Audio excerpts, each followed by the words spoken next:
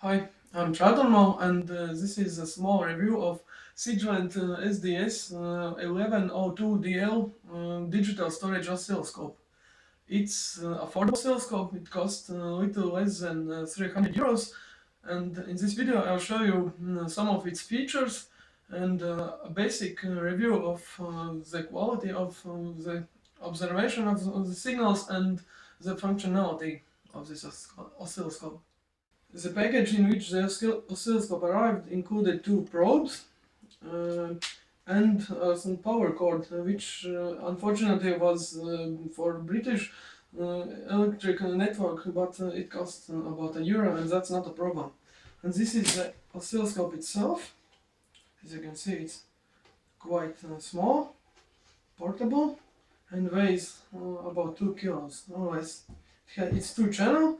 The oscilloscope maximum input frequency is 100 megahertz and uh, it's uh, 500 samples per second. Uh, and it has a digital trigger, uh, USB um, memory can be attached to it, and you can store uh, your observations directly on the USB device. Well, I powered uh, the oscilloscope up, and as you can see, it has a very nice large 7 inch LCD screen. It's uh, 320 by 280. I'm not sure exactly how, but it's a very nice uh, screen, and both channels are activated, and you can very easily see the quality of the display. Change its color from uh, the angles so you can work uh, with this oscilloscope from different angles and I'll show you some basic design options. Well, you can change the intensity of the mm, signals and the brightness of the screen. You can also change the format X, Y, and uh, uh, signal by time. You can change the grid and you can change the theme in which uh, the screen works. There are all kinds of designs, as you can see. Green. You can suit it for your needs if you don't like uh, the specific colors. Here are some other uh, options to change, like sound and language.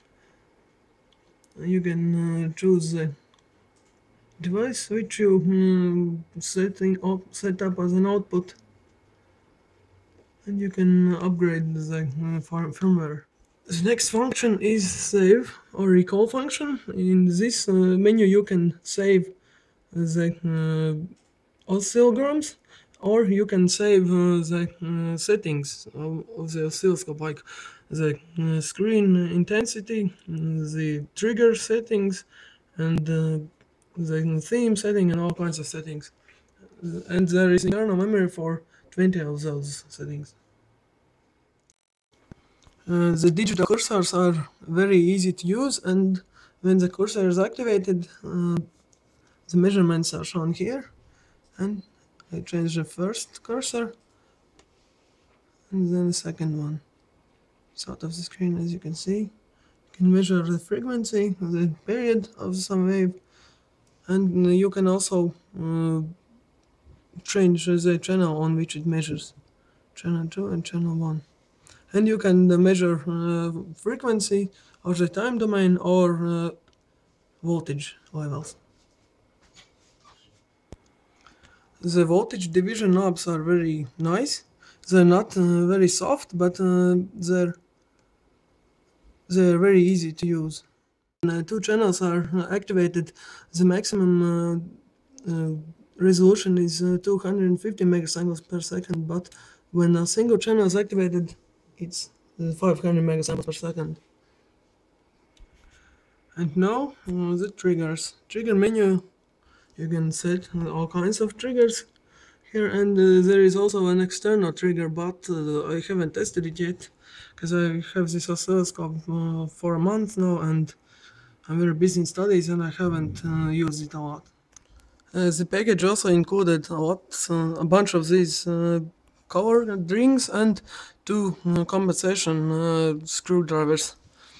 And here is an external 1 kilohertz uh, sine wave generator. And oh, excuse me. And you can compensate the capacitance of the probe. Oh, excuse me. Uh, yeah. Okay I prefer uh, compensating the probe in in the times 10 uh, division. When you uh, re reduce the signal for 10 times or increase the probe's input uh, resistance. And as you can see okay it's good to see there and changing the capacitance of the probe.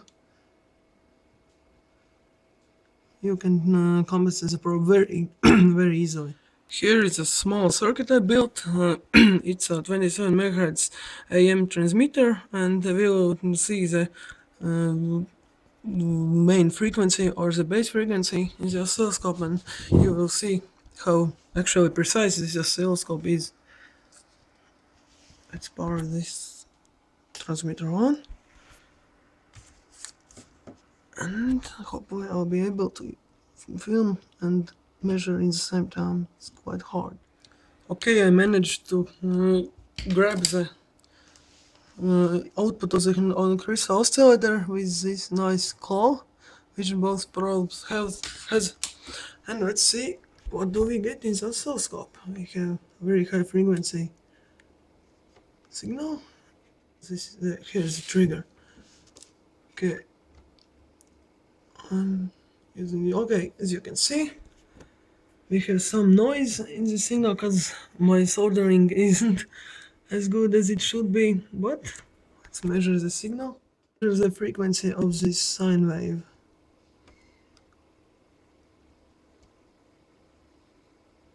But from one maximum to the other as you can see it's about 27 megahertz and the auto mm, frequency counter says 26.999 which is almost exact, exactly 27 megahertz. So you can see working with uh, low frequency, relatively low, low frequency mm, waves is very easily with this, very easy with this oscilloscope. Now we will attach a USB device and capture the signal. Yes, USB device has been detected and let's press the print key. Uh, I previously I mm, set the output device USB, but you can also insert a printer via USB. But this is a USB output device, and it saves the image. Save restored. And the last feature, which is very mm, very nice, and I really like it, is the stop button.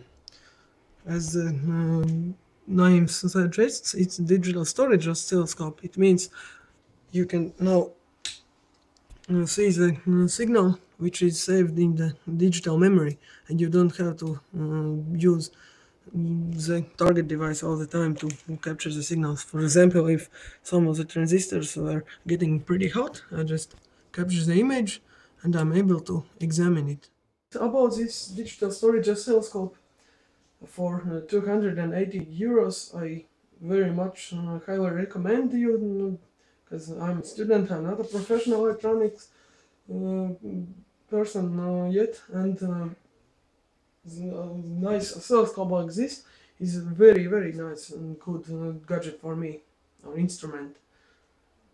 So see you next time in some other video.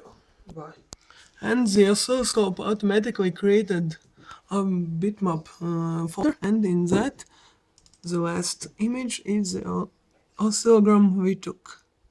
If I zoom it in, you can see it's very nice bitmap format image with no uh, smoothing or anything like that like JPEG and it's very nice for presentations or research.